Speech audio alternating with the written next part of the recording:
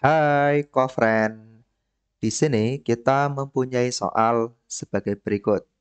Sebuah dawai memiliki frekuensi layangan 2 Hz jika dibunyikan bersamaan dengan sebuah garpu tala yang berfrekuensi 256 Hz.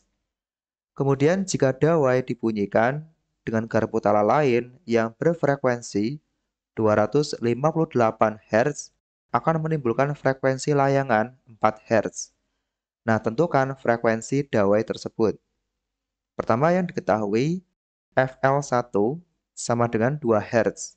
Nah, FL1 frekuensi layangan pada kondisi yang pertama. Nah, kemudian di sini untuk F1 adalah frekuensi garpu tala pertama, 256 Hz.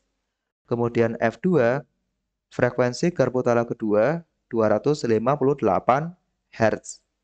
Nah, FL2 frekuensi layangan pada garpu tala yang kedua adalah 4 Hz. Kemudian yang ditanyakan adalah FD, frekuensi dawai tersebut. Nah, kita gunakan rumus dalam menghitung frekuensi layangan. Nah, pada soal tersebut, yang pertama adalah untuk FL1 sama dengan mutlak F1 min FD.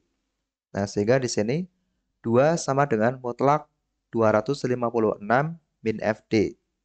Nah, sehingga FD itu sama dengan 256 min 2.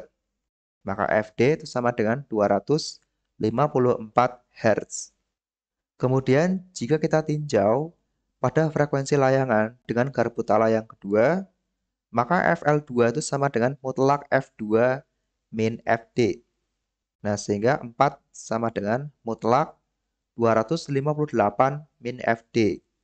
Nah, sehingga di sini FD itu sama dengan 258 min 4. Dan kita peroleh FD itu sama dengan 254 Hz.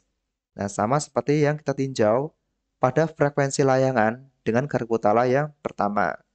Jadi, dari penjelasan tersebut dapat disimpulkan bahwa frekuensi dawai tersebut adalah 254 Hz.